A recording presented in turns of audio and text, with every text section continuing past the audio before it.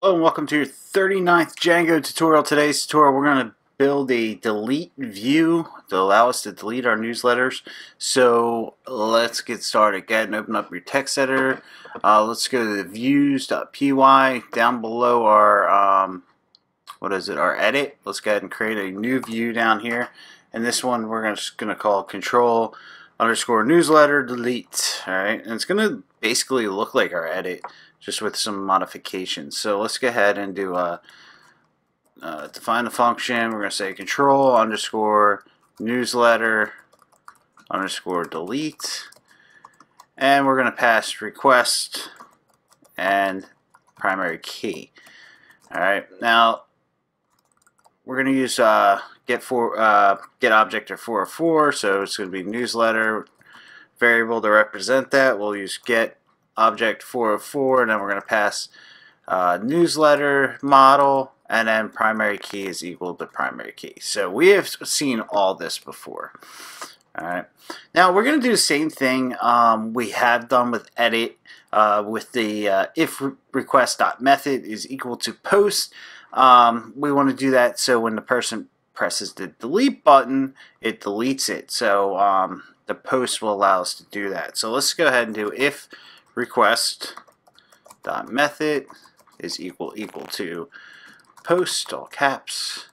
Uh, we're going to do something. So in here we're going to say um, we're going to get our form and we're going to say newsletter creation form. And we're going to pass request oops, request dot post.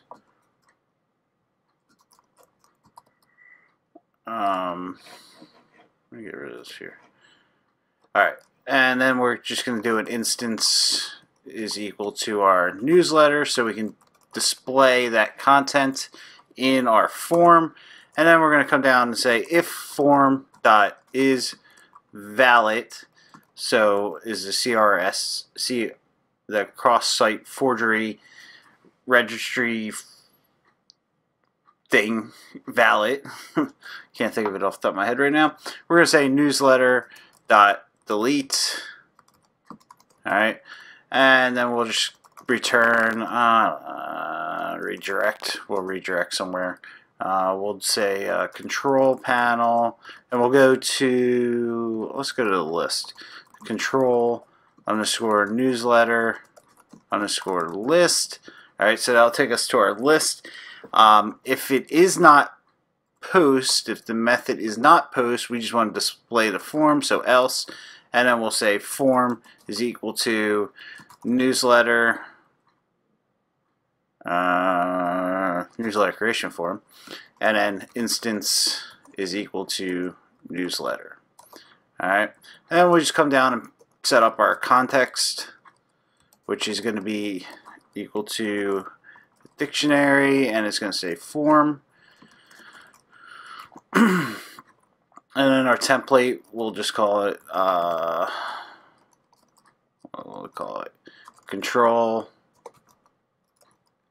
underscore panel forward slash control underscore newsletter underscore delete dot html. Alright. And don't forget our return, return, render, request, template, uh, context, just like that. All right, so there we go. That's our view. Uh, it's pretty straightforward.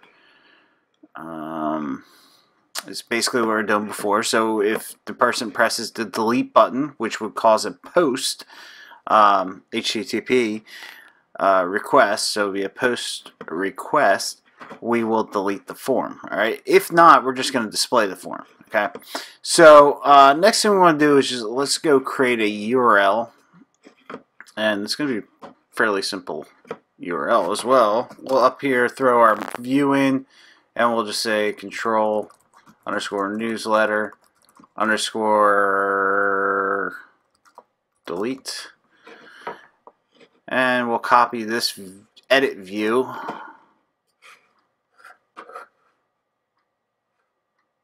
Copy that. Oops, don't do that. Crap. Sorry. It's really hard when uh, I have to slide back and forth here. Alright. C. And off that. Huh. I guess that works. No, it doesn't. Now I'm going to paste it in. There we go. Technical difficulties. Alright, so we'll change this to uh, delete. And the view to delete. And the name to delete. Just like that. So there we go. Our URL set up. Uh, now the next thing we need to do is, let me slide this over. We got to create a template so make these smaller, come down to our control panel templates, and we'll just create a new template.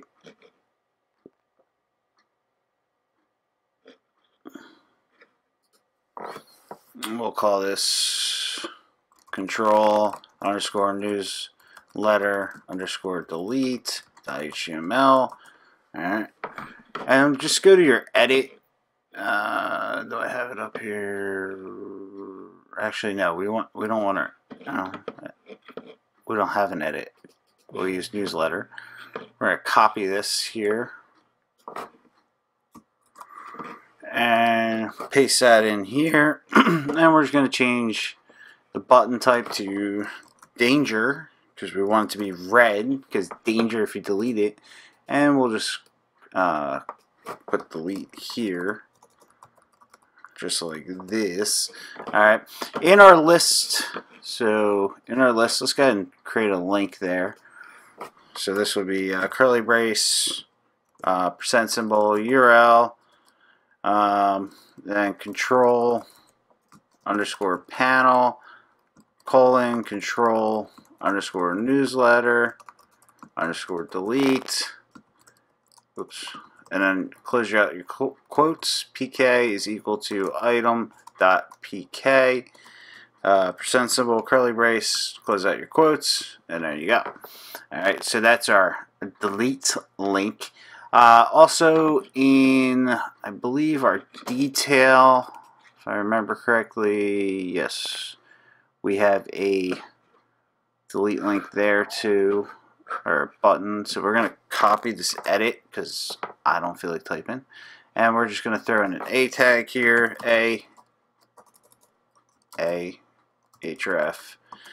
And we'll paste this um, link in there. We'll change this to delete. Just like that. And then close out our A tag like that. Take this A cut that and we're going to put it behind the button. Back here. Boom like that and save it. Now let's go ahead and make sure our servers are running. And if we go up and go to newsletter list so we can just click on this link over here.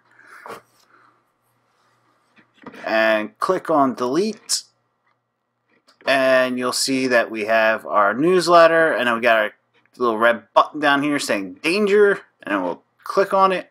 Boom. See ya object. So there you go. That's how you delete it. I guess we could like um, actually re redirect to another um, template that says hey uh, you just delete this object uh, if you want to do something like that. But um, that's up to you uh, but for now, we know how to delete an object, we know how to edit an object, we know how to create an object, we know how to display objects in a list. Whew, it's a lot. But anyway, um, in the next tutorial, we'll go ahead and secure this so you guys can upload it. Um, and we'll start working on that. But basically, our newsletter is complete at this point. So good work, and I'll see you in the next tutorial.